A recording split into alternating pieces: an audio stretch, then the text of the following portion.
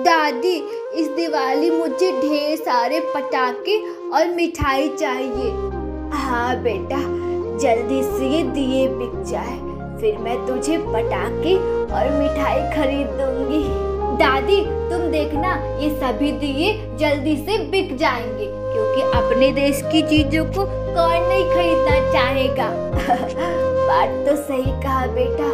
अरे साहिब, दिए ले लो, बहुत अच्छे हैं। नहीं हमें नहीं चाहिए। अरे बेटा दिए ले लो आओ तुम भी ले लो। आ, तुम तुम भी आ जाओ। अरे दादी जी हम रंग बिरंगे लाइट और झालर लेने जा रहे हैं। हम दिए नहीं ले सकते। कोई बात नहीं बेटा। दादी शाम हो गया अभी तक कोई दिए नहीं बिके। हाँ बेटा शायद कल दिए बिक जाए। चल घर चलते हैं। दादी तुम्हें तो बहुत तेज से बुखार है। हाँ बेटा, मुझे माफ़ कर दे। मैं तेरे लिए मिठाई और पटाखे नहीं खरीद पाई। कल दिए भी तो नहीं बिके थे ना, वरना कुछ पैसे हो ही जाते। तो मैं तेरे लिए कुछ ना कुछ तो खरीद ही देती। कोई बात नहीं दादी, तुम आराम करो। मैं दिए बेच कर आती हूँ। दिए ले लो, मट्टी से बने दिए। हे छोटी, लाइट वाले दिए हैं क्या? नहीं भैया मट्टी वाले दिए हैं। तो फिर नहीं चाहिए। आंटी दिए ले लो मट्टी के हैं। कलरफुल दिए हैं क्या डिज़ाइन वाले? नहीं मट्टी के सिंपल वाले दिए हैं। नहीं तो फिर हमें डिज़ाइनर दिए चाहिए ये सिंपल वाले नहीं चाहिए। अच्छा सुनो ये दिया कैसे दिया? दस का पाँच दिया।